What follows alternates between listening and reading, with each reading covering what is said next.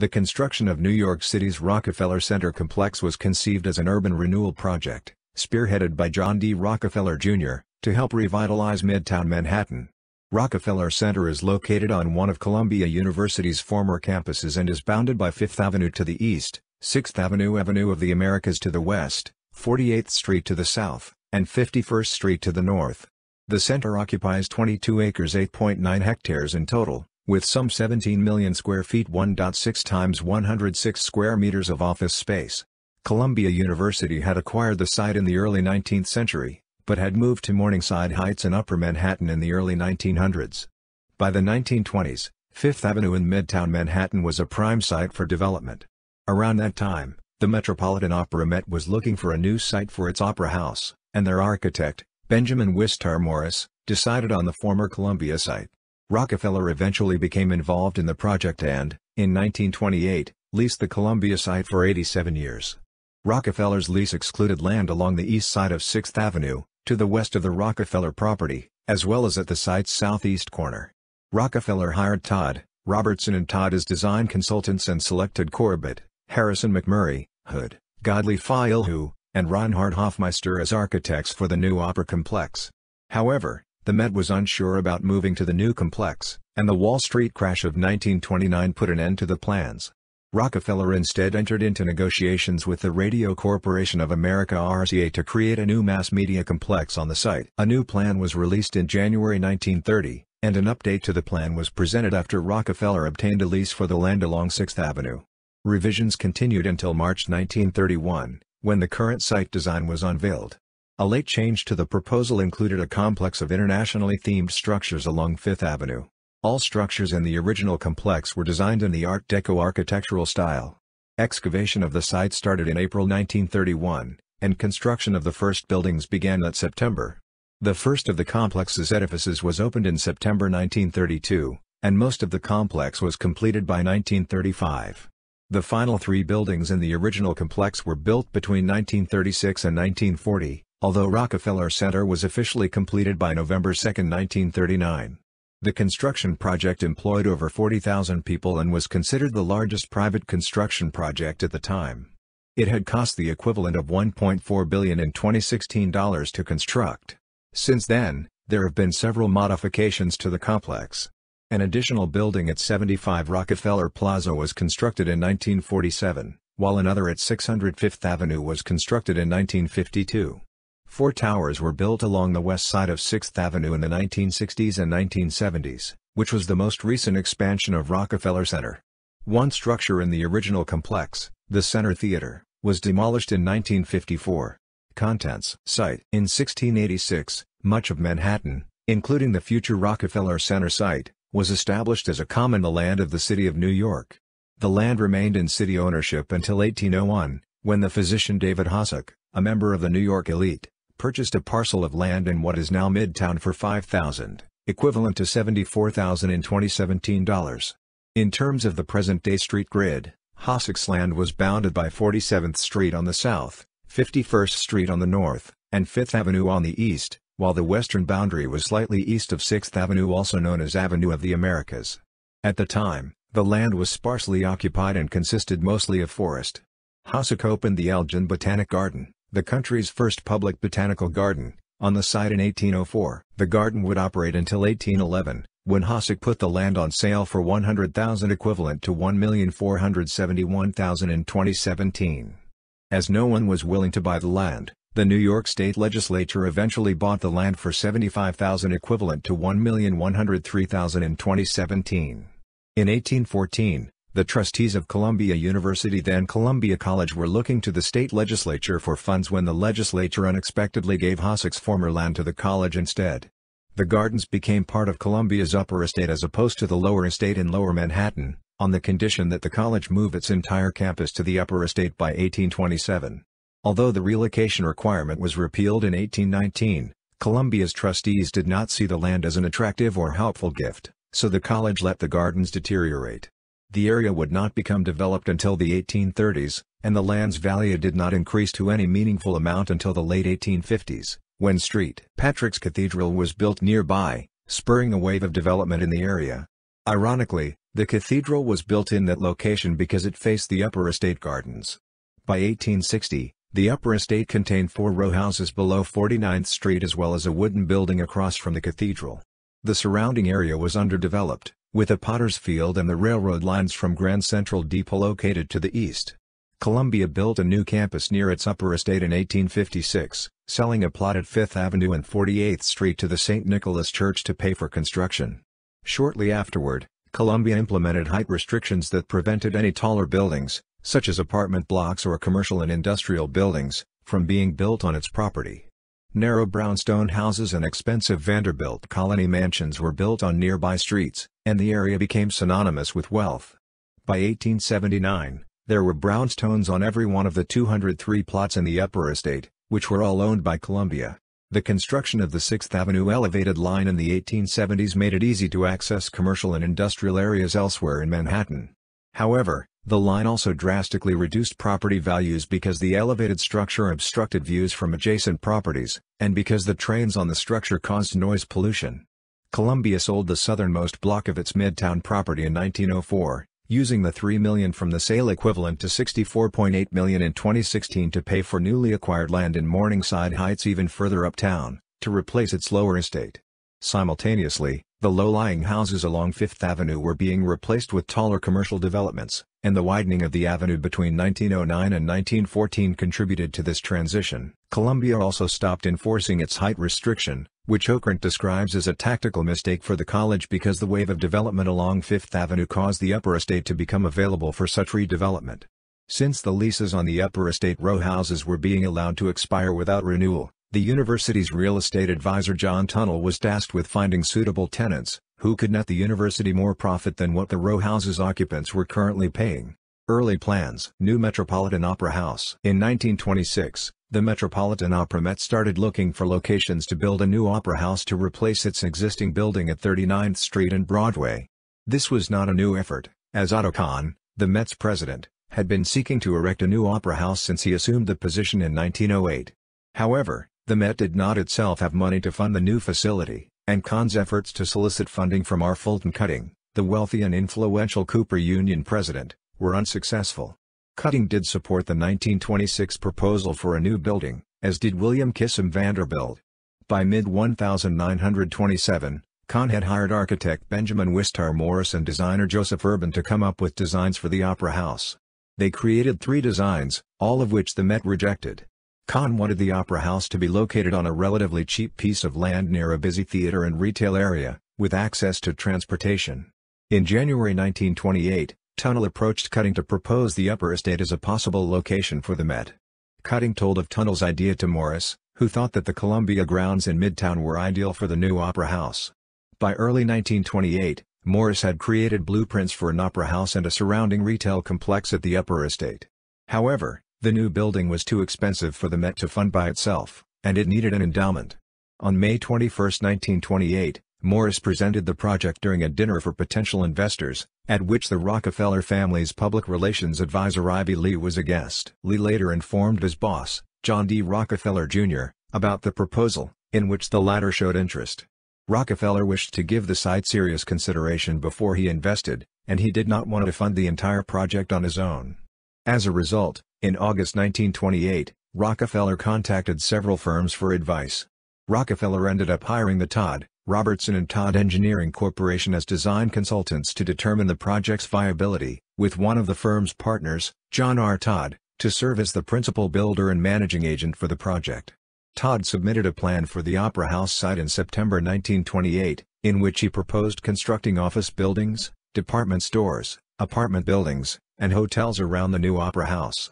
In June 1928, Charles O. Heydt, one of Rockefeller's business associates, met with Kahn to discuss the proposed Opera House. After the meeting, Heydt purchased land just north of the proposed Opera House site as per Rockefeller's request, but for a different reason Rockefeller was afraid that many of the landmarks of his childhood, located in the area, were going to be demolished by the 1920s wave of development. The writer Daniel Okrent states that Rockefeller's acquisition of the land might have been more for the family name rather than for the Met proposal itself, as Rockefeller never mentioned the details of the proposal in his daily communications with his father, John D. Rockefeller Sr.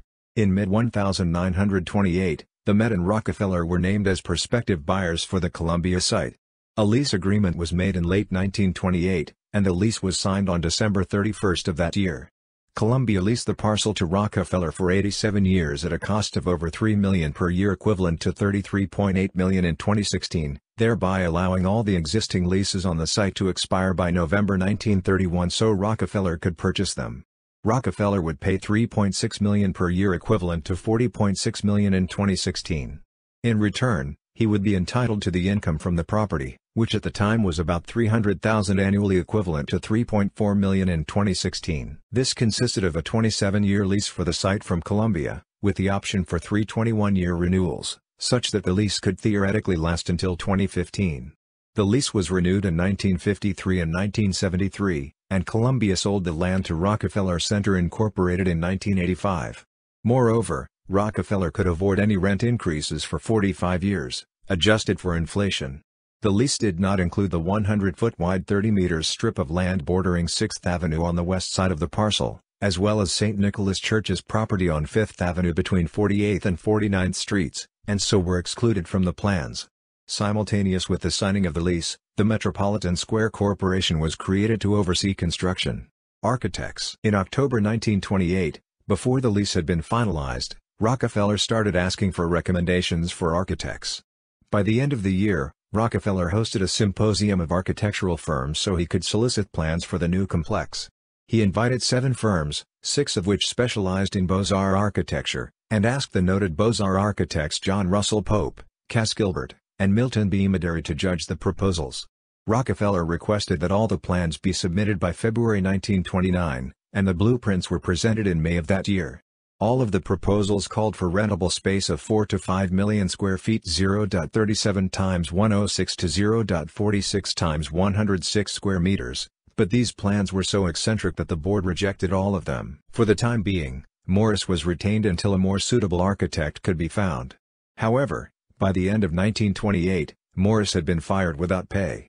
He was eventually paid 50,000 for his contributions to the project, and many of his ideas were included in the final design. Rockefeller retained Todd, Robertson and Todd as the developers of the proposed Opera House site, and, as a result, Todd stepped down from the Metropolitan Square Corporation's board of directors. In October 1929, Todd appointed Corbett, Harrison MacMurray, Hood, Godley Fouilhoux, and Reinhard Hofmeister to design the buildings. They worked under the umbrella of Associated Architects so none of the buildings could be attributed to any specific firm. The lead architect and foremost member of the Associated Architects was Raymond Hood, who would become memorable for his creative designs. Hood, along with Harvey Wiley Corbett, were retained as consultants. The team also included Wallace Harrison, who would later become the family's principal architect and advisor to John Rockefeller Jr.'s son Nelson. Hood, Morris, and Corbett were the consultants on architectural style and grouping, although Morris was in the process of being fired. Todd also hired L. Andrew Reinhard and Henry Hofmeister as rental or tenant architects, to design the floor plans for the complex, and who were known as the most pragmatic of the associated architects. Hood, Corbett, Harrison, Reinhard, and Hofmeister were generally considered to be the principal architects.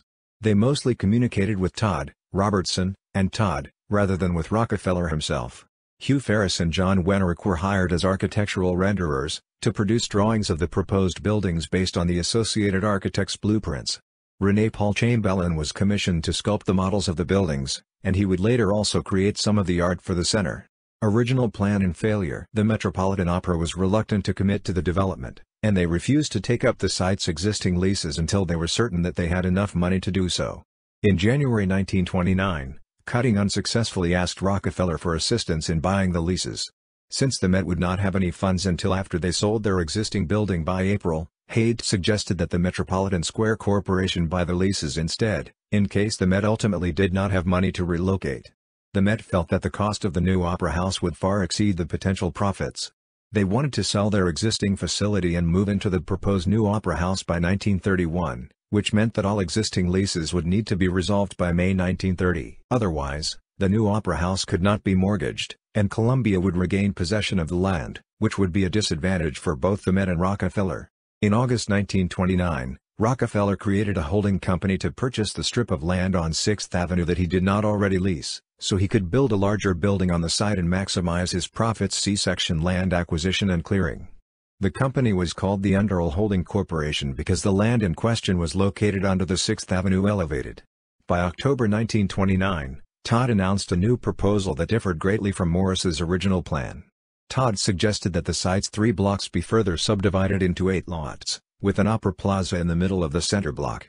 The complex would contain the Metropolitan Opera facility, a retail area with two 25-story buildings, department stores, two apartment buildings, and two hotels, with one rising 37 stories and the other being 35 stories. The Met's Opera House would have been located on the center block between 49th and 50th Streets east of 6th Avenue. The retail center would be built around or to the west of the Opera Building. According to one New York Times account, the shops in the Metropolitan Opera development would be laid out in a way similar to that of the retail center in the English city of Chester. The main hurdle to the plan was the Met's reluctance to commit to the development by buying leases from existing tenants and handing the leases over to Columbia. Rockefeller stood to lose 100,000 per year equivalent to 1.1 million in 2016 if he leased the new Opera House. Todd had objected that the Opera House would be a blight rather than a benefit for the neighborhood, as it would be closed most of the time. After the stock market crash of 1929, these concerns were mooted by the fact that the Metropolitan Opera could not afford to move anymore. The Met instead suggested that Rockefeller finance their relocation by purchasing a half interest in the old Opera House and the land under it an offer that he refused. On December 6, 1929, the plans for the new Opera House were abandoned completely. New plans. With the lease still in effect, Rockefeller had to quickly devise new plans so that the three-block Columbia site could become profitable. Hood came up with the idea to negotiate with the Radio Corporation of America RCA and its subsidiaries, National Broadcasting Company NBC and Radio Keith Orpheum RKO, to build a mass media entertainment complex on the site. This was achievable because Wallace Harrison was good friends with Julian Street, a Chicago Tribune reporter whose wife's great-uncle Edward Harden was part of the RCA board of directors. At Hood's request, Harrison made a lunch date to tell Street about the mass media complex proposal.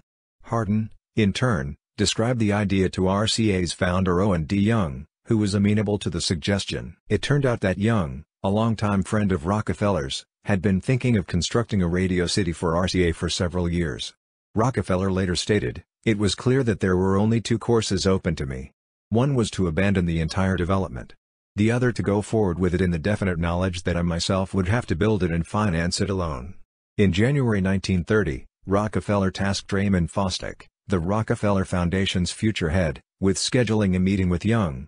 The RCA founder was enthusiastic about the project, expressing his vision for a complex that, according to Daniel Okrent, contained an opera house, a concert hall, a Shakespeare theater on both broadcast studios and office space for RCA and its affiliated companies.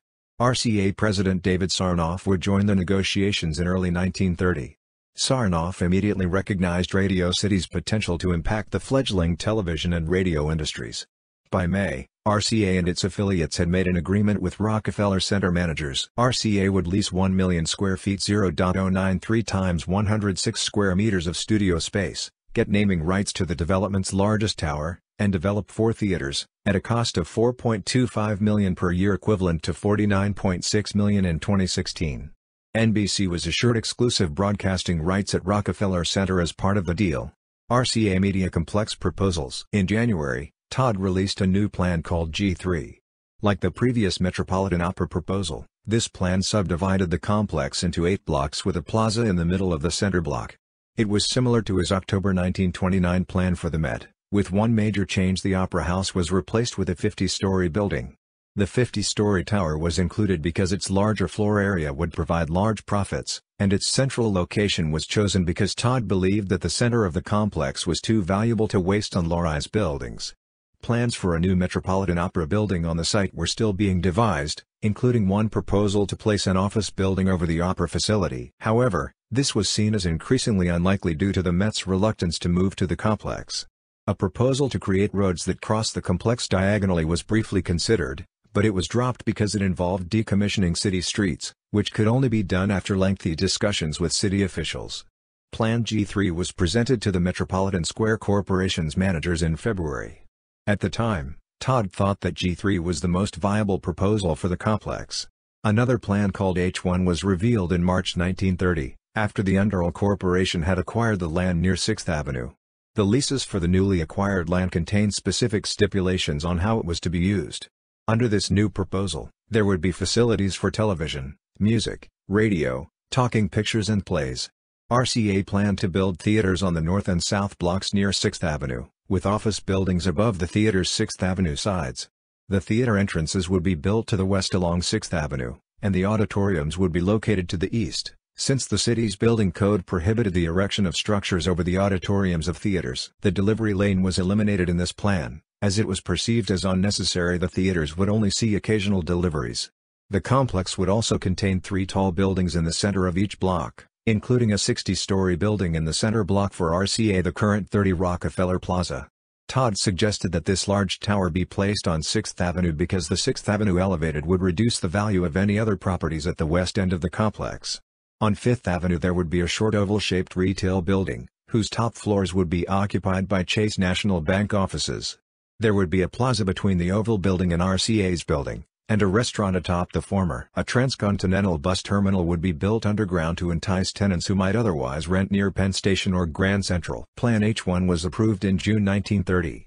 In the middle of the month, the New York Times announced the plans for the Radio City project between 48th Street, 51st Street, 5th Avenue, and 6th Avenue. Additional details were released for example, the 200 million cost projection for the three skyscrapers equivalent to 2.34 billion in 2016. To provide space for the plaza, 49th and 50th streets would be covered over, and there would be parking structures both above and underground, while the streets surrounding the project would be widened to accommodate the heavy traffic. Four theaters would also be built two small theaters for television, comedy, and drama, a larger one for movies, and another theater, larger still, for vaudeville. Under the plan, the demolition of the site's existing structures would start later in the year, and the complex would be complete by 1933.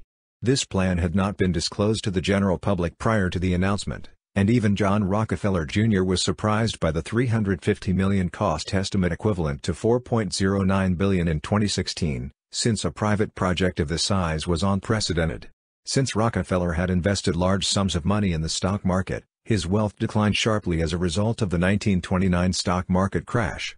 In September 1930, Rockefeller and Todd started looking for funding to construct the buildings, and by November they secured a tentative funding agreement with the Metropolitan Life Insurance Company.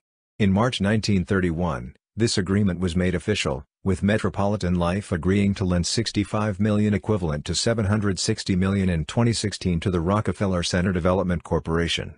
Metropolitan Life's president Frederick H. Ecker granted the money on two conditions that no other entity would grant a loan to the complex, and that Rockefeller co-sign the loan so that he would be responsible for paying it off if the development corporation defaulted. Rockefeller covered ongoing expenses through the sale of oil company stock.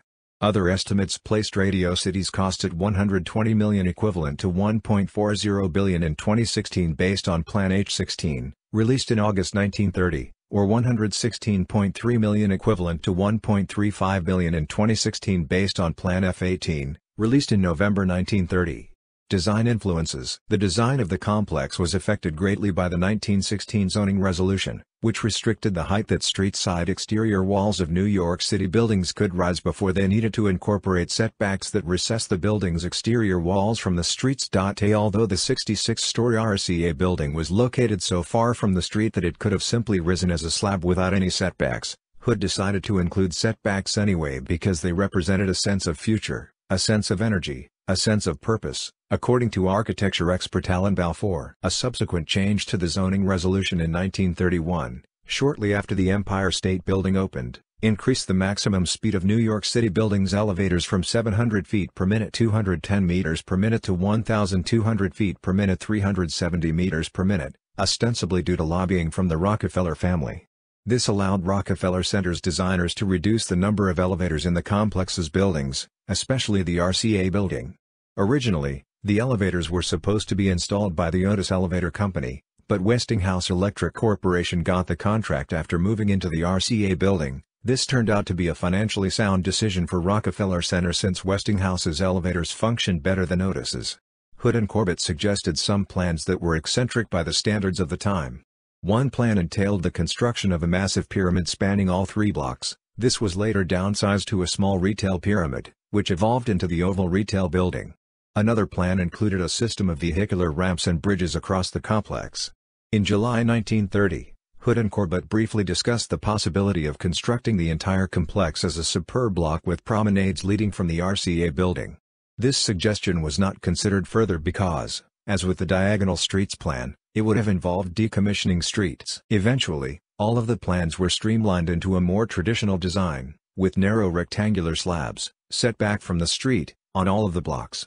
Hood created a guideline that all of the office space in the complex would be no more than 27 feet 8.2 meters from a window, which was the maximum distance that sunlight could directly penetrate the interior of a building at New York City's latitude. At the time, air-conditioned office buildings were rare, and the sunlit offices provided comfortable accommodations, as opposed to offices in many older buildings, which were dark and cramped. Plan F-18 During late 1930 and early 1931, the plans were revised and streamlined. March 1931 saw the announcement of Plan F-18, which called for an international music hall now Radio City Music Hall and its 31-story office building annex to occupy the northernmost of the three blocks, located between 50th and 51st Streets. The 66-story 831-foot 253 meters RCA building would be located on the central block's western half, between 49th and 50th Streets, and would house RCA and NBC offices as well as broadcasting studios. The oval-shaped retail complex would occupy the block's eastern half, with a rooftop garden. A RKO-operated sound theater would be located in the southernmost block between 48th and 49th Streets. In the center of Radio City would be a new three-block-long private street running between 5th and 6th Avenues, with a concave plaza at the midpoint. The complex would also include space for a future Metropolitan Opera venue on the northernmost block. For the first time, the plans included an underground pedestrian mall, with shops, which would be located above the underground bus terminal. The complex would include 28,000 windows and more than 125,000 short tons 112,000 long tons of structural steel, according to the builders. It would cost 250 million. For the first time, a scale rendering of the proposed complex was presented to the public. The rendering was much criticized, with some taking issue with details or general dimensions of the as yet unconfirmed proposal, and others lambasting the location of the tall skyscrapers around the plaza. Daniel Okrent writes that almost everyone hated the updated plans. The renowned architectural scholar Lewis Mumford went into exile in upstate New York specifically because the weakly conceived, reckless, romantic chaos of the plans for Rockefeller Center had violated his sense of style. Mumford's commentary provoked a wave of blunt, negative criticism from private citizens, newspapers, such as the New York Herald Tribune, and architects, including both Frank Lloyd Wright and Ralph Adams Cram, whose styles were diametrically opposed to each other. The New York Times took note of the universal condemnation of the proposal, and after the complex's architects changed their plans in response to the criticism, the Times stated, It is cheering to learn that the architects and builders of Radio City have been stirred by the public criticism of their plans. Despite the controversy over the complex's design, Rockefeller retained the Associated Architects for his project. Updated retail building and garden plans The oval-shaped retail building on Fifth Avenue between 49th and 50th Streets was criticized for not fitting in with the rest of Fifth Avenue's architecture, with critics referring to the proposed building as an oil can. The original plan had been for two retail buildings, but was changed to one in response to Chase National Bank's request for a single building. However, the Oval Building was scrapped in early 1931, after Chase could not win exclusive banking rights at the building's location. An updated plan, F-19, restored two smaller six-story retail buildings to the site of the Oval Building, and proposed a new 40-story tower for a nearby site. These buildings not only would provide retail space but also would fit in with Fifth Avenue's architecture. In the new plan, an oval-shaped central plaza would be recessed below ground level, with planting surrounding a large central fountain. A wide, planted esplanade, between 50th and 51st Streets, would lead pedestrians from Fifth Avenue, on the east, to the plaza and to the RCA building to the west, with steps leading down to the plaza. The western side of the plaza would lead directly to the underground pedestrian mall. A replica of Niagara Falls Horseshoe Falls would also be built above a 100 by 20 foot 30.5 by 6.1 meters reflecting pool, while ivy would be planted on the outside of some of the buildings. In a June 1932 revision to the plan, the proposed plaza's shape was changed to a rectangle, and the fountain was moved to the western side of the plaza. The sculptor Paul Manship was then hired to create a sculpture to place on top of the fountain, His bronze Prometheus statue was installed on the site in 1934. As a concession for the loss of the rooftop gardens planned for the Oval Building, Hood suggested that all of the complex's setbacks below the 16th floor be covered with gardens. Hood thought this was the cheapest way to make the buildings look attractive, with a cost estimate of 250,000 to 500,000 about 2.9 to 5.8 million in 2017 that could pay for itself if the gardens were made into botanical gardens. Hood proposed a three-tiered arrangement, inspired by a similar plan of Le Corbusier. The lowest tier would be at ground level, the middle tier would be atop the retail building's low-lying roofs and the skyscraper's setbacks, and the highest tier would be at the tops of the skyscrapers. A March 1932 update to the rooftop garden proposal also included two ornately decorated bridges that would connect the complex's three blocks, though the bridge plan was later dismissed due to its high cost. Ultimately, only seven disconnected gardens would be built. Since American tenants were reluctant to rent in the retail buildings, Rockefeller Center's manager Hugh Robertson, formerly of Todd, Robertson, and Todd, suggested foreign tenants for the buildings. They held talks with prospective Czech, German, Italian, and Swedish lessees who could potentially occupy the six-story internationally themed buildings on Fifth Avenue, although it was reported that Dutch, Chinese, Japanese, and Russian tenancies were also considered. The first themed building that was agreed on was the British Empire Building, the more southerly of the two buildings, which would host governmental and commercial ventures of the United Kingdom. In February 1932, French tenants agreed to occupy the British Empire buildings twin to the north, La Maison Française. A department store and 30-story building later changed to 45 stories were planned for the block to the north of the twin buildings, between 50th and 51st Streets, with the department store portion facing 5th Avenue. A final layout change to that block occurred in June, when the department store was replaced by the tower's two retail wings, which would be nearly identical to the twin retail buildings to their south. The two new retail buildings, connected to each other, and to the main tower, with a galleria, were proposed to serve Italian, and possibly also German, interests upon completion. Theaters Out of the four theaters included in Plan H1, of March 1930, the city only approved the construction of two, and thus, only these two theaters were constructed. Samuel Roxy Rothafel, a successful theater operator who was renowned for his dominance of the city's theater industry, joined the center's advisory board in 1930. He offered to build two theaters a large, vaudeville International Music Hall, on the northernmost block, with more than 6,200 seats, and the smaller, 3,500-seat RKO Roxy Movie Theater on the southernmost block. The idea for these theaters was inspired by Roxy's failed expansion of the 5,920-seat Roxy Theater on 50th Street, one and a half blocks away. Roxy also envisioned an elevated promenade between the two theaters, but this was never published in any of the official blueprints. Meanwhile, proposals for a Metropolitan Opera House on the site persisted. Official plans for a facility to the east of the RKO Roxy were filed in April 1932. The projected 4,042-seat opera facility would contain features such as a second-floor esplanade extending across 50th Street. However, the Met was unable to fund such a move, so the proposed new opera house was relegated to tentative status. In September 1931, a group of NBC managers and architects toured Europe to find performers and look at theater designs. However, the group did not find any significant architectural details that they could use in the Radio City theaters.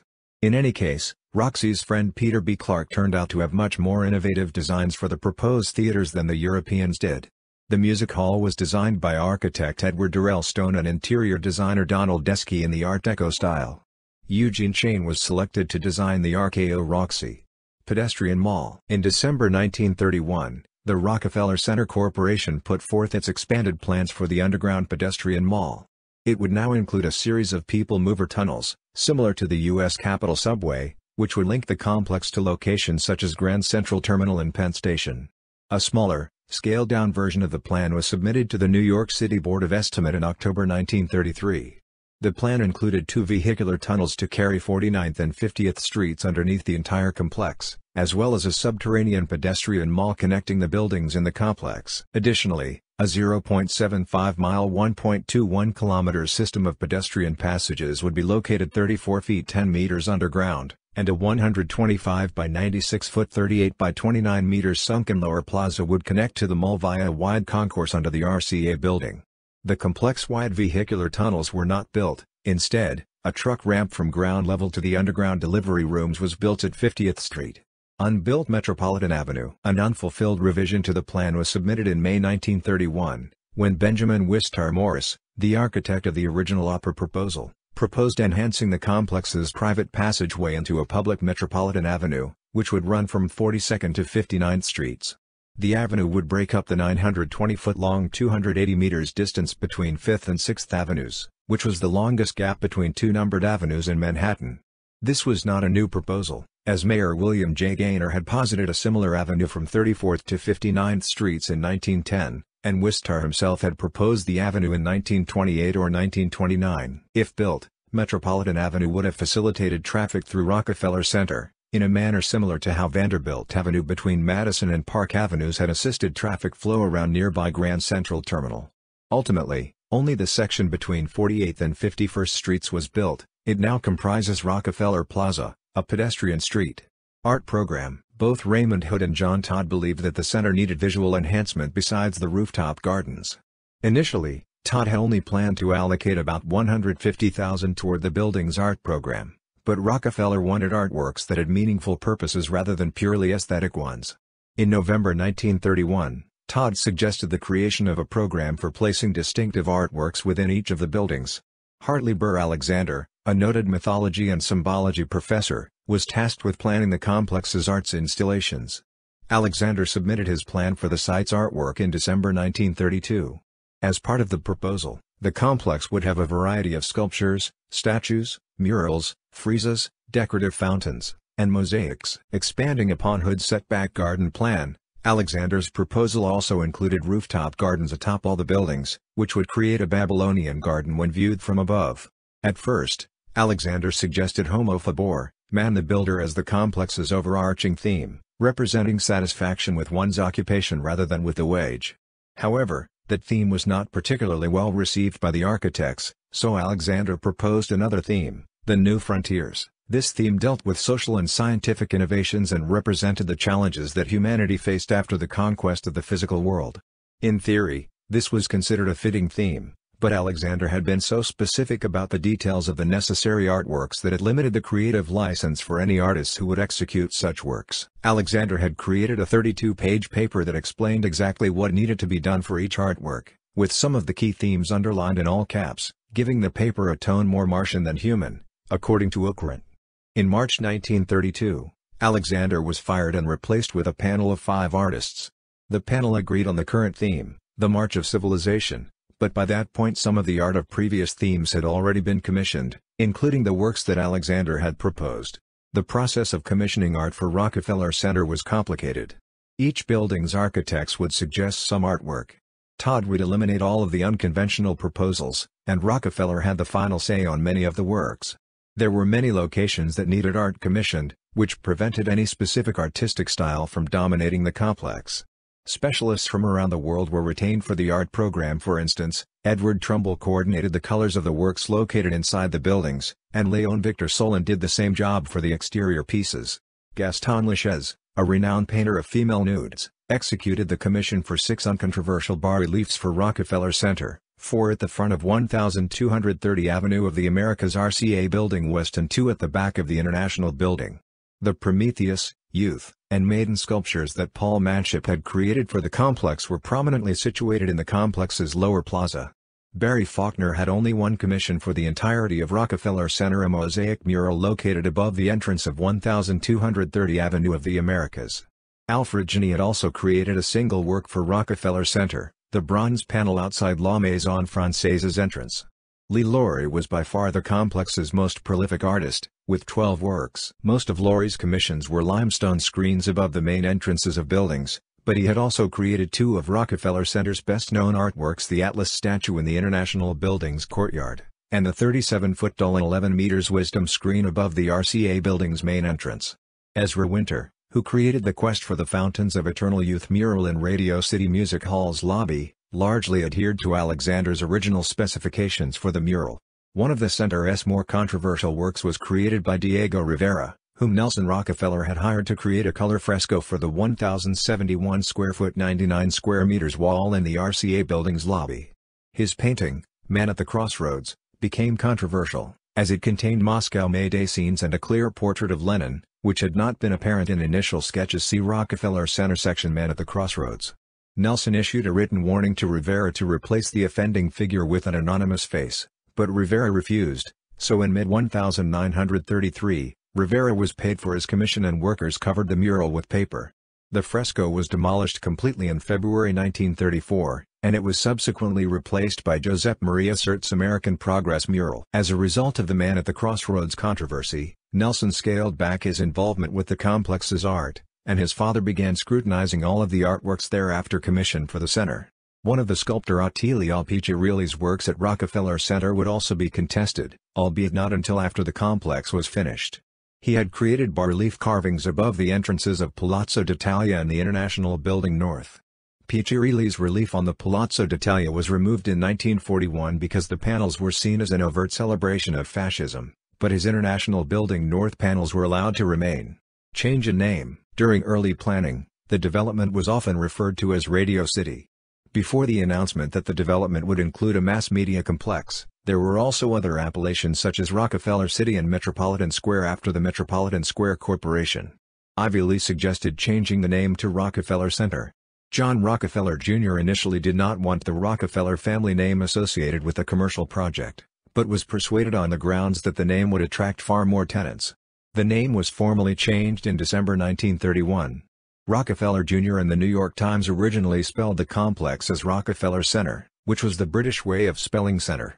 After consultation with the famed lexicographer Frank H. Vizetelly, center was changed to center.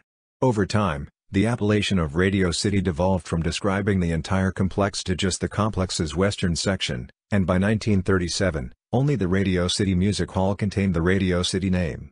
Construction progress According to Daniel Okrent, most sources estimated that between 40,000 and 60,000 people were hired during construction. One estimate by Raymond Fosdick, the Rockefeller Foundation head, placed the figure at 225,000 people, including workers who created materials for the complex elsewhere. When construction started, the city was feeling the full effects of the Depression, with over 750,000 people unemployed and 64% of all construction workers without a job. At the Depression's peak in the mid-1930s, John Rockefeller Jr. was praised as a job creator and a patriot for jump-starting the city's economy with the construction project.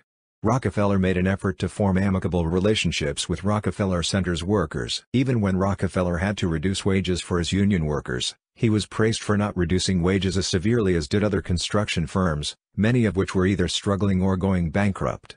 At the time, the complex was the largest private building project ever undertaken.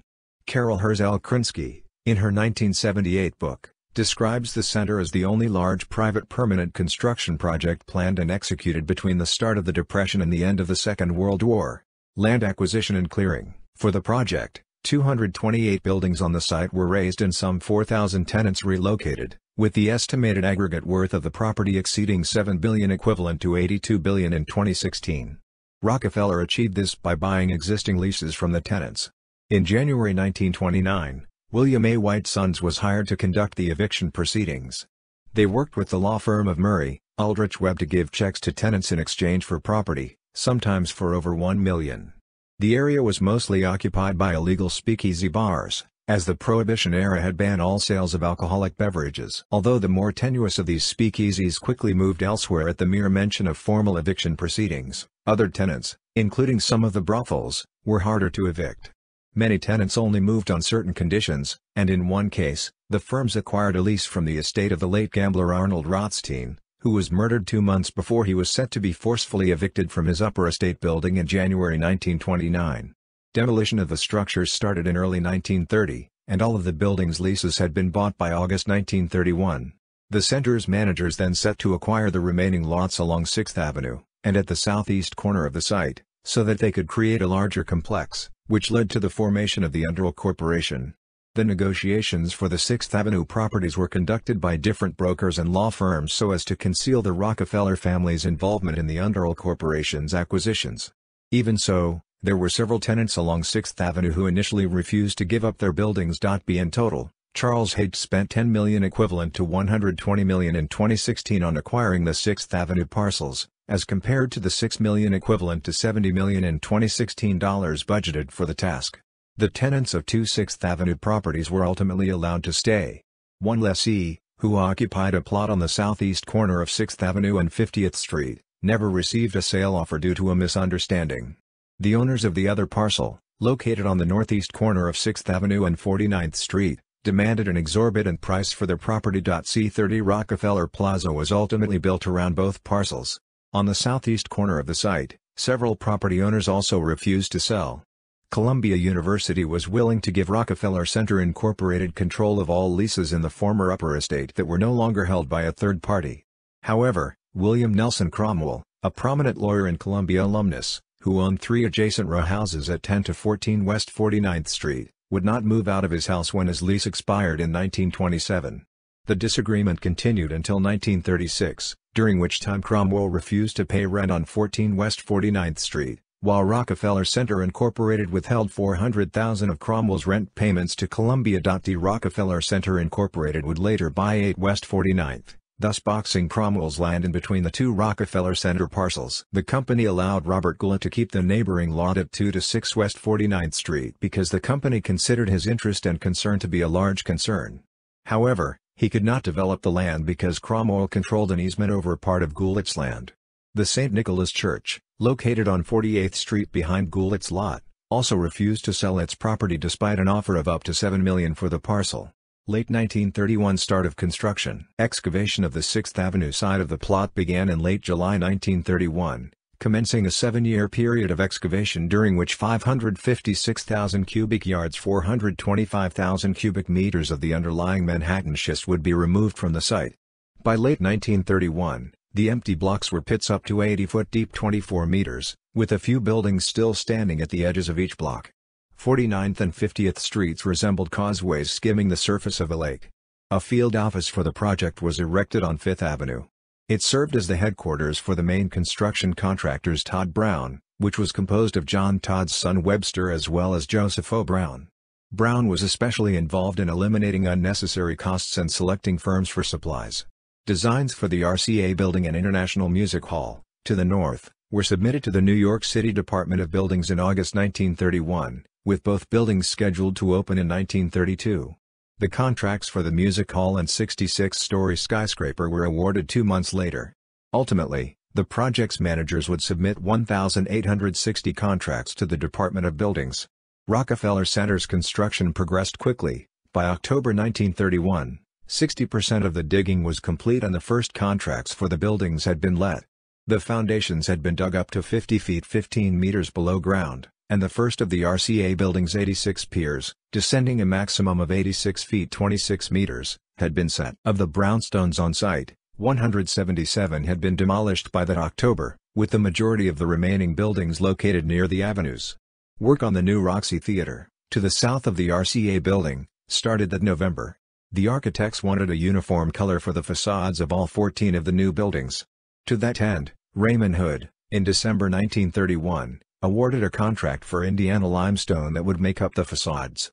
At the time, it was the largest order of stone in history, with about 14 million cubic feet 0.40 times 106 cubic meters of limestone being shipped.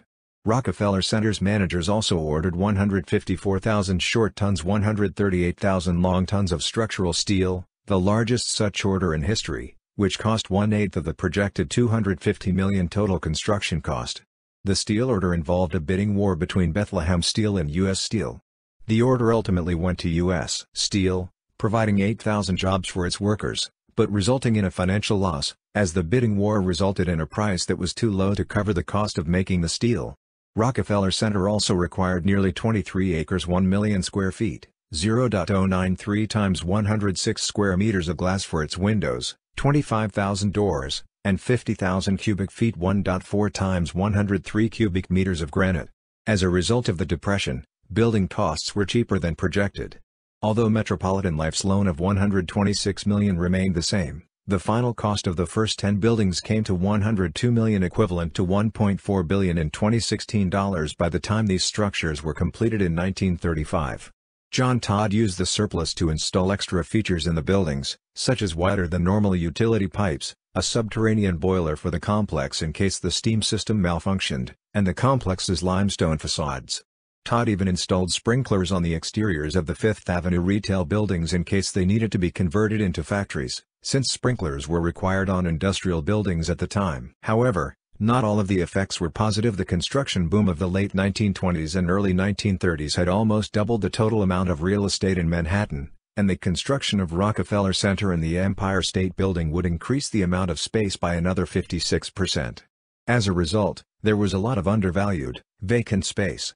After RKO's bankruptcy in 1931, Sarnoff convinced John Rockefeller Jr. to buy RKO common stock and RCA preferred stock worth a total of 4 million equivalent to 45 million in 2016, in return for RCA downsizing its lease by 500,000 square feet 46 times 103 square meters. 1932 to 1933, work on the steel structure of the RCA building started in March 1932. Meanwhile, the British and French governments had already agreed to occupy the first two internationally themed buildings, and John Rockefeller Jr. started signing tenants from the respective countries. The cornerstone of the British Empire building was laid in June, when Francis Hopwood, 1st Baron Southborough, placed the symbolic first stone in a ceremony. Significant progress on the theaters had been made by then RKO Roxy's brickwork was complete and the limestone and granite facade was almost ready to be installed, while the music hall's steelwork was complete. By September, both theaters were almost finished, as was the RCA building, whose structural steel was up to the 64th floor. That month also saw the opening of the RKO building, the first structure in the complex to be opened. The British Empire building's structural steel started construction in October. The music hall was the second site to open, on December 27, 1932, although it had topped out in August.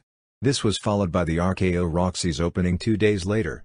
Roxy originally intended to use the music hall as a vaudeville theater, but the opening of the music hall was widely regarded as a flop, and both theaters ended up being used for films and performing arts. Radio City's Roxy Theater had to be renamed the Center Theater in May 1933 after a lawsuit by William Fox, who owned the original Roxy Theater on 50th Street. The failure of the vaudeville theater ended up ruining Roxy's enterprise, and he was forced to resign from the center's management in January 1934. The cornerstone of La Maison Française was laid on April 29, 1933, by former French Prime Minister Édouard Herriot. The British Empire building was open less than a week later. The RCA building was slated to be opened by May 1, but was delayed because of controversy over the Man at the Crossroads mural in the lobby. In July 1933, the managers opened a 70th-story observation deck atop the RCA building, it was a great success the 40 cents per head observation deck saw 1,300 daily visitors by late 1935. Work on the rooftop gardens started in October 1933, and La Maison Française opened the same month. In December 1933, workers erected the complex's famed Christmas tree in the center of the plaza for the first time. Since then, it has been a yearly tradition to display a large Christmas tree at the plaza between November and January. Simultaneously, the city built the part of the cancelled Metropolitan Avenue that ran through Rockefeller Center. The new street, called Rockefeller Plaza, was projected to carry an estimated 7,000 vehicles per day upon opening. The first segment, between 49th and 50th Streets, opened in 1933, and a northern extension opened in 1934. The new street measured over 60 feet 18 meters wide and ran 722 feet 220 meters through the complex, with four vehicular levels, Advertising and leasing efforts. From 1931 until 1944, Rockefeller Center Incorporated employed Merle Crowell, the former editor of American Magazine, as the complex's publicist. His first press release, published on July 25, 1931, extolled Rockefeller Center as the largest building project ever undertaken by private capital. Thereafter, Crowell supplanted Ivy Lee as the complex's official publicity manager, and his subsequent releases employed a variety of superlatives, massive amounts of statistics and calculations, and the occasional bit of hyperbole. Crowell published many new press releases every day, and by the midpoint of the complex's construction in 1935, he also started staging celebrity appearances, news stories, and exhibitions at Rockefeller Center. The goal was for 34,500 people to work at Rockefeller Center once it was completed, as well as for 180,700 daily visitors. Rockefeller hired Hugh Sterling Robertson to solicit tenants and secure lease agreements. It was hard to lease the complex in the wake of the Great Depression, but Robertson managed to identify 1,700 potential tenants, and had held meetings with 1,200 of them by the end of 1933. Rockefeller and his partners were also able to entice some prominent tenants to the center. The Rockefeller family's Standard Oil Company moved into the RCA building in 1934. Over the next two years, several other major oil companies followed suit and took up leases in Midtown buildings, including Sinclair Oil and Royal Dutch Shell, who moved into Rockefeller Center. The United States Post Office Department opened a facility in the complex in early 1934, and would later rent space in the as yet incomplete International Building. The New York Museum of Science and Industry leased some of the less sought-after space on the RCA building's lower floors after Nelson Rockefeller became a trustee of the museum in late 1935. Westinghouse moved into the 14th through 17th floors of the RCA building. However, Rockefeller Center's managers had a hard time leasing the buildings past 60% occupancy during the earliest years of its existence, which coincided with the middle of the Depression. The Rockefeller family moved into various floors and suites throughout the same building in order to give potential tenants the impression of occupancy. In particular, the family's office took up the entire 56th floor, while the family's Rockefeller Foundation took up the entire floor below, and two other organizations supported by the Rockefellers also moved into the building. Because the sunken Central Plaza was mostly leased by luxury stores, the complex's managers opened an outdoor restaurant in the plaza in early 1934 to attract other customers. The complex's willingness to gain leases at almost any cost had repercussions of its own.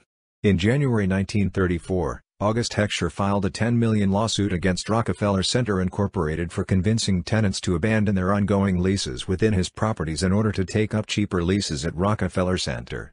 The lawsuit stalled in courts until Heckscher's death in 1941, when it was dismissed. The managers of Rockefeller Center Incorporated also wanted the complex to have convenient, nearby mass transit to attract potential lessees. The city-operated independent subway system IND had opened a subway station at 5th Avenue and 53rd Street in 1933, drawing workers from Queens. The managers, seeing the success of the business districts around Penn Station and Grand Central, proposed a large rail terminal for trains from Bergen County, New Jersey, so workers from northern New Jersey would be drawn to the complex. Although the managers did decide on a possible location for the terminal on 50th Street, this plan did not work because the IND subway still did not have any stops at the complex itself. The consultants then offered a subway shuttle under 50th Street that would connect to the IND subway station at 8th Avenue, or a rail line connecting to Penn Station and Grand Central. This plan did not work because the city was uninterested in building the new rail line. The plan was formally dropped in 1934, but proposals for similar ideas persisted until 1939. The city also had plans to construct a line under 6th Avenue to supplant the elevated railway there, but did not start construction on the 6th Avenue subway until 1936. Since the IND would be constructing a station at 47th 50th Streets, near the complex, Rockefeller Center's managers also wished to build their own connections to Penn Station and Grand Central using the subway tunnels that were being constructed. However, this proposal was declined because it would require extensive rezoning of the surrounding residential area. An extension of Rockefeller Plaza northward to the Rockefeller Apartments at 53rd Street was also envisioned in early 1934, with Rockefeller Center's managers, between October 1934 and late 1937, acquiring land for the proposed street. Rockefeller legally condemned some of the buildings he acquired for the planned street expansion. However, the street was never extended, for various reasons. E. 1934 to 1936. By July 1934, the complex had leased 80% of the available space in the six buildings that were already opened. The lower plaza's large Prometheus statue had been installed in January that year. The complex's underground delivery ramps, located on 50th Street under the present-day Associated Press building, were completed in May. The ramps, a vestige of the tunnels originally planned for 49th and 50th Streets, traveled 34 feet 10 meters underground and stretched for 450 feet 140 meters. By the end of the year, Wallace Harrison was the lead architect, Andrew Reinhard was in charge of floor plans for tenants, and Henry Hofmeister was tasked with planning the locations of the remaining unbuilt buildings' utilities and structural framework. Raymond Hood had died, while Harvey Corbett had moved on to other projects. Frederick A. Godley and J. Andre Fouilhoux of Hood, Godley Fouilhoux, as well as William H. MacMurray of Corbett, Harrison MacMurray, never had much to do with Rockefeller Center's development. In May 1934, plans were officially filed for the remaining two international-themed buildings, as well as the larger 38-story, 512-foot 156 meters International Building at 45 Rockefeller Center. Work on the buildings started in September 1934. The more southerly of the retail buildings was dubbed Palazzo d'Italia and was to serve Italian interests. The Italian government later reneged on its sponsorship of the building, and the task of finding tenants went to Italian-American businesses.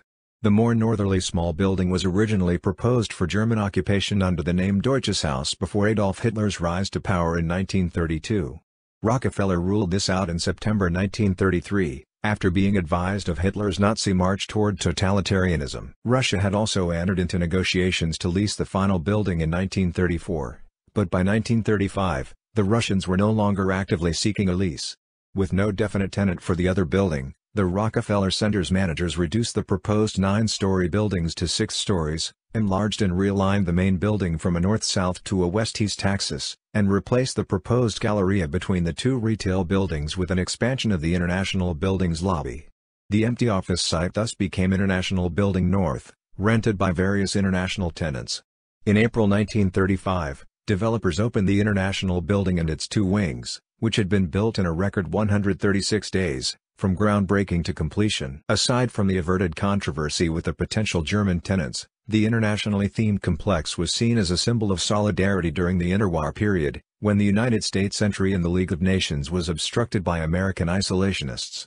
By late April 1935, the Gardens of the Nations on the RCA building's 11th-story roof was complete. Upon opening, its collection of exotic flora attracted many visitors, and it became the most popular garden in Rockefeller Center. However, this novelty soon faded, and the garden started running a 45,000 per year deficit by 1937 $634,000 in 2017 dollars due to the massive expense involved in hoisting plants, trees, and water to the roofs, as well as a lack of interest among tourists. Gardens on the roofs of the two theaters would also be installed in 1937, but they were not open to the public. The underground pedestrian mall and ramp system, connecting the three blocks between 48th and 51st Streets, was finished in early May. At the time of the mall's opening, 22 of the 25 retail spaces had been leased, and three more buildings were ready for occupancy that month. The underground concourse contained a post office, payphones, and several public restrooms. The complex was starting to attract large crowds of visitors, especially to Radio City Music Hall or one of the other exhibition and performance spaces. Despite this seeming success in the face of the Depression, construction was considered to be behind schedule all the buildings had originally been set for completion by mid-1935, yet the central parts of the northern and southern blocks were still undeveloped. Around this time, Rockefeller Center's managers were selling the lots for their failed Rockefeller Plaza extension. In January 1935, newly elected Mayor Fiorello H. LaGuardia proposed that a municipal arts center be built in or near the Rockefeller complex.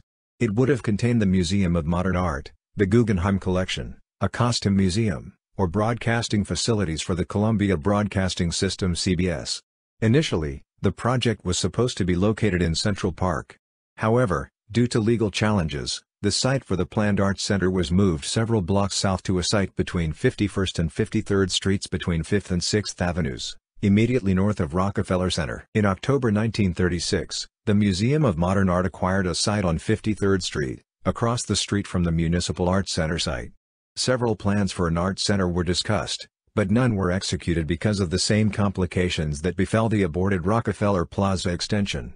Also in 1935, plans were filed for a 16-story western extension of the RCA building, made of the same material but with extensive links to the pedestrian tunnel system and an elaborate entrance from the under-construction IND station at 47th 50th Streets. The subway connection started construction in 1936 but would not open until 1940. Until the subway connection opened, the underground shopping mall was an elaborate catacomb that dead-ended on all sides. The retail space on the lower plaza was not profitable because the stores in the plaza were hidden underneath the rest of the buildings and behind the Prometheus statue, which made the shops hard for tourists to find. By 1935, there were 10 times as many workers entering the RCA building every day as there were visitors to the lower plaza. After several rejected suggestions to beautify the plaza, the managers finally decided on building the rink at Rockefeller Center for 2000 after Nelson Rockefeller found that a new system had been invented that allowed artificial outdoor ice skating, enabling him to bring the pastime to Midtown Manhattan. The new rink was opened by Christmas 1936. The rink was originally intended as a temporary measure, but it became popular, and so it was kept. Completion By 1936, Ten buildings had been built and about 80% of the existing space had been rented. The buildings, constituting the first phase of construction, were the International Building, the four small retail buildings, the RKO Building, the Center Theater, the Music Hall, the RCA Building, and the RCA Building's western extension. The total investment in the center up to that point had been about 104.6 million about 1.4 billion in 2016 dollars, which was composed of 60 million of John Rockefeller Jr.'s money and 44.6 million from Metropolitan Life. Developing the remaining empty lots Rockefeller Center Incorporated needed to develop the remaining empty lots of the northern and southern blocks. Notably, the southern plot was being used as a parking lot, and at the time, it was the city's largest parking facility. In 1936, Time Incorporated expressed interest in moving out of their Chrysler building offices into a larger headquarters, having just launched their Life magazine. Rockefeller Center's managers persuaded Time to move to a proposed skyscraper on part of the southern empty lot, located on Rockefeller Plaza between 48th and 49th Streets. The steel work for that building was begun on September 25, 1936, and was complete by November 28, 43 working days later. The 36-story Time Life building, as it was known, F opened on April 1, 1937, along with the final block of Rockefeller Plaza abutting the building, between 48th and 49th Streets. Rockefeller Center's executives had talks with the Associated Press for a building on the northern empty lot, which was occupied by the complex's truck delivery ramp. The lot had been reserved for the Metropolitan Opera House, but the managers could not wait anymore to develop the lot, and in 1937, the opera plans were formally scrapped. The lot had also been planned as a hotel site, but this was also deemed economically infeasible. In January 1938, the Associated Press agreed to rent four floors within the structure at 50 Rockefeller Plaza. In exchange, the building would be renamed for the company. Construction of the steelwork started in April 1938. After 29 working days, the 15-story structure was topped out on June 16. The Associated Press moved into 50 Rockefeller Plaza in December. The presence of the Associated Press and Time Incorporated expanded Rockefeller Center's scope from strictly a radio communications complex to a hub of both radio and print media. In 1938, the Associated Press opened the Guild, a newsreel theater, along the curve of the truck ramp below the building. It was impossible to build any smaller buildings in the remainder of the complex, since the demands of tenants stipulated larger buildings. Additionally, it was no longer viable to build a system of rooftop gardens because the 15-story Associated Press building was much taller than the 7 to 11-story high gardens on the rest of the buildings, making it extremely hard to create a system of gardens without the use of extraordinarily steep bridges. The final plot on the southernmost block needed to be developed, and several tenants were being considered. In early 1937, the center's managers approached the Dutch government for a possible 16-story Holland house on the eastern part of the plot. The Dutch government did not enter into the agreement because of troubles domestically, most notably the social unrest that preceded Hitler's 1940 invasion of the Netherlands. However, the Rockefeller Center's managers were already in negotiations with Eastern Airlines. Despite the lack of a definite tenant, the excavation of the 16-story structure at 10 Rockefeller Plaza started in October 1938, and the building was topped out by April 1939. Eastern Airlines CEO, Eddie Rickenbacker, did not sign a lease until June 1940. At that time, 10 Rockefeller Plaza was renamed the Eastern Airlines Building. Change in leadership The management of Rockefeller Center shifted around this time. In November 1936, John Todd was featured in two New Yorker articles that emphasized his role in the complex's construction. At the same time, Nelson was gaining clout within Rockefeller Center Incorporated, and he disagreed with nearly all of Todd's suggestions. Nelson's father, John, was relinquishing his responsibilities, since the Rockefeller family's youngest son David had moved out of the family home at 10 West 54th Street, and John was now focusing on his own personal life. By April 1937, Todd regretted his decision to be featured in The New Yorker. In March 1938, Nelson became the president of Rockefeller Center Incorporated he then fired Todd as the complex's manager and appointed Hugh Robertson in his place. Nelson and Robertson wanted to avoid workers' strikes, which would delay the completion of construction. Nelson, Robertson, and the workers' unions agreed to a contract in which the unions would not strike, Robertson would not lock out union workers, and both would agree to arbitration if a labor dispute arose. Rockefeller Center was one of Nelson's primary business ventures until 1958. When he was elected governor of New York, public relations officials were hired to advertise the different parts of the complex, such as the gardens and the plaza. Merle Crowell set up a viewing platform on the east side of Rockefeller Center and founded the facetious Sidewalk Superintendents Club so the public could view construction. Final building The western half of the southern plot was still undeveloped due to perceived negative effects of the 6th Avenue elevated. Ultimately, the United States Rubber Company was convinced to move from their headquarters at Columbus Circle to the proposed 1230 Avenue of the Americas building at Rockefeller Center. The company leased 11 floors in the new building, a decrease of 35,000 square feet 3,300 square meters from the 12 stories that they leased at 1790 Broadway. The U.S. Rubber Company building had been planned as a mirror of the RKO building, but this was not possible because the symmetrical structure would have entailed constructing an expensive cantilever over the center theater. Excavation of the U.S. Rubber Company building site commenced in May 1939. The complex was deemed complete by the end of October 1939. John Rockefeller Jr. installed the building's ceremonial final rivet on November 1, 1939, marking the completion of the original Rockefeller Center complex. The installation of the last rivet was accompanied by a celebratory speech by Rockefeller and many news accounts about the event. 10 Rockefeller Plaza, though, was not officially complete until its dedication in October 1940. Although the Dutch government had initially declined to enter an agreement to occupy 10 Rockefeller Plaza, it moved its offices in exile into the building once it opened. Later construction After the original complex was finished, Rockefeller started to look for ways to expand, even though the outbreak of World War II stopped almost all civilian construction projects. In 1943, the complex's managers bought land and buildings on three street corners near the complex. Rockefeller Center unveiled plans for expansion to the southwest and north in 1944. At the time, the complex's existing rentable area totaled 5.29 million square feet 0.491 times 106 square meters, with 99.7% of the space being leased. 1940s and 1950s. Esso was one of the tenants who wanted to expand, and the company signaled that it would build its own office tower if Rockefeller Center's managers did not construct a building for them. In 1944, John Rockefeller Jr. officially approved Esso's proposal to construct a building on land that Rockefeller controlled located at the north end of Rockefeller Plaza.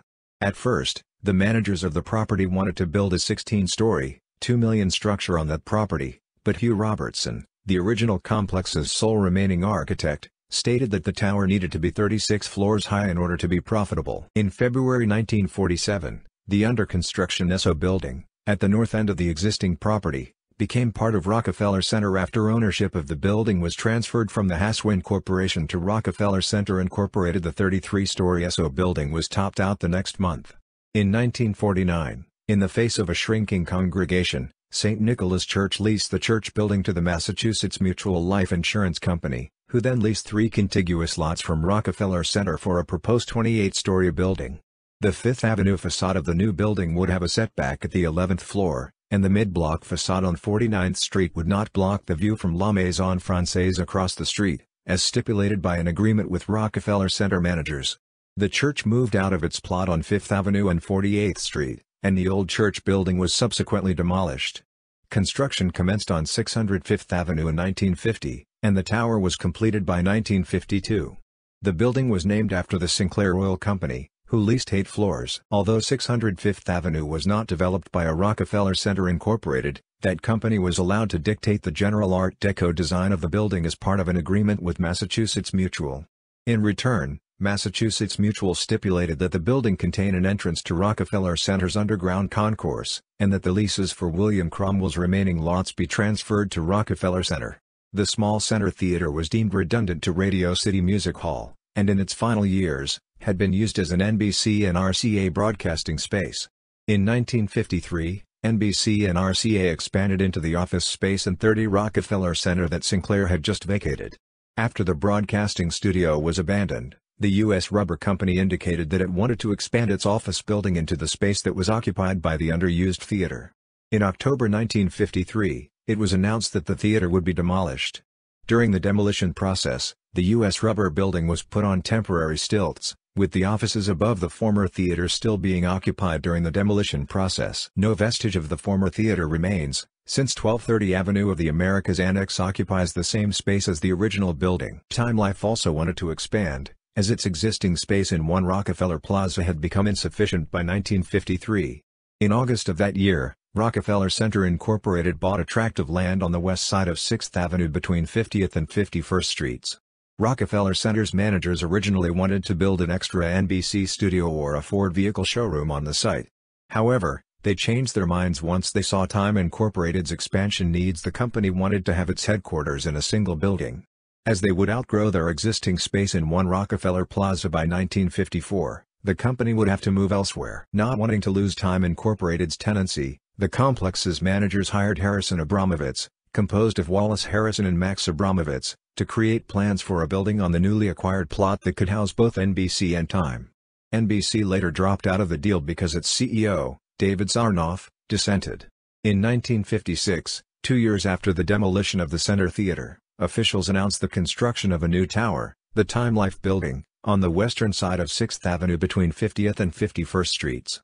The 500-foot 150 meters, 7 million building 93.5 in 2016 dollars would include connections to the existing passageway system and to the Roxy Theater directly to its west. The tower would rise as a 48-story slab, with a plaza to the east and an 8-story annex along its western and northern sides. One of Rockefeller Center's subsidiaries, West Prop Incorporated, bought the air rights to the original Roxy Theater located next door so that the new tower could conform to the zoning resolution of 1916. Time Incorporated and Rockefeller Center formed a joint venture, Rock Time Incorporated, which would share the tower's rent income between them. Construction on the Time Life Building's steelwork started in April 1958, and the structure topped out in November of that year. The cornerstone of the building was laid in June 1959, after the building's structure had been completed, and the first tenants began moving into the tower in December 1959. During this time, plans called for Rockefeller Center to expand northward, Rockefeller Center, Uris Buildings Corporation, and Webb and Knapp formed another joint venture, Rock Uris Corporation, to construct a hotel to the west of 75 Rockefeller Center. However, Webb and Knapp faced monetary shortages, and the joint venture found that a hotel was not the most profitable use of the land. The joint venture instead decided to construct a glass and concrete 43-story office building on the site, with connections to the complex's underground concourse. In 1961, the building was named after Sperry Corporation, who leased eight floors in the future building. The planned hotel was moved to another site two blocks north, on the west side of 6th Avenue between 53rd Streets. This became the New York Hilton at Rockefeller Center, which opened in 1963. The hotel's name was misleading because it was located outside the complex and not connected to the underground mall. The mall could not be extended anyway because the 53rd Street subway was in the way. Further expansion of Rockefeller Center on the west side of 6th Avenue, between the Hilton and the new Time Life building, was not possible because the Equitable Life Assurance Society had built a tower in between the two properties. 1960s and 1970s. In 1963, officials from Esso approached Gustav Eyssell, who had been Rockefeller Center Incorporated's president since Hugh Robertson had stepped down in 1948. Esso proposed that Eyssell approve another building for the company, which had outgrown the space that it already occupied in Rockefeller Center. Eyssell seriously considered the proposal because the complex did not want to lose Esso's tenancy, and because the complex's existing tenants were requesting a combined 2 million square feet 0.19 times 106 square meters of extra space. Rockefeller Center's managers rehired Harrison Abramovitz to design three new towers on the west side of 6th Avenue, with one tower on each of the blocks between 47th and 50th Streets. The managers purchased the land for the three proposed buildings in private. Simultaneously, they consulted with large potential tenants, and eventually managed to sign Esso, McGraw-Hill, and Celanese as the main tenants for the buildings. Under the plan, Esso later renamed Exxon would move into the northernmost tower at 1251 Avenue of the Americas, while McGraw-Hill would occupy the center tower at 1221, and Celanese would have the southernmost tower at 1211. These were called the XYZ buildings because the three towers were so similar that their placements could be interchanged. Harrison Abramovitz's plans were influenced by several design elements. Most importantly, the firm wished to include plazas in front of each of the new Rockefeller Center buildings, drawing from their recent design for the Lincoln Center for the Performing Arts on the Upper West Side which contained several buildings around a central plaza. G. The new Rockefeller Center building's front plazas would serve as large gathering spaces, similar to the lower plaza in the original complex. The original Rockefeller Center did not include plazas along 6th Avenue because the elevated line would have overshadowed these spaces, But now that the 6th Avenue elevated had been destroyed, the new building's plazas would add open space to the 6th Avenue side of the complex. As a bonus, the plazas cancelled out the imposing visual effects of the buildings on the avenue's east side, which rose straight up from their property lines and made for a cliff-like effect. Finally, per a 1961 revision to the 1916 zoning resolution, the inclusion of public plazas would allow the tower's builders to include more office space in each building. Unlike the old complex, which had to satisfy John D. Rockefeller Jr.'s aesthetic desires, the new towers did not need to be excessively beautiful the present executives of Rockefeller Center were more concerned with the building's functionality. However, the proposed design of the new towers strained relations between Harrison and Nelson Rockefeller. This arose from the media's harsh reviews of the proposed expansion, which was described by one critic as the sinister Stonehenge of economic man. There were several impediments to the start of construction. Foremost among them was the fact that the proposed floor area of the new buildings was greater than the amount allowed under the 1961 resolution. The Urban Design Group, a division of the New York City Department of City Planning, suggested that the towers include an enclosed walkway with retail space, as well as a movie theater in one of the buildings. The McGraw-Hill building was to include a basement planetarium with a dome above ground level, which would be operated by a subsidiary, while the Celanese building was to contain the theater. Neither of these attractions were actually built the planetarium space was occupied by a small theater after McGraw-Hill had sold its planetarium subsidiary, while the theater plan was scrapped due to a lack of funding and a decline in the area's theater industry. The start of construction was delayed for several years due to these bureaucratic requests. The city finally approved the project after Rockefeller Center Incorporated promised to build the enclosed walkway west of the Celanese building as well as two parks west of the Exxon and McGraw-Hill buildings. Plans for the new buildings were announced on a staggered schedule from 1967 to 1970. The Exxon building was announced in August 1967, followed by the McGraw-Hill building in November 1967 and the Celanese building in 1970. Complications arose when William A. Rubin, a resident of 132 West 48th Street who lived on the planned Celanese building site west of 6th Avenue, refused to move from his home.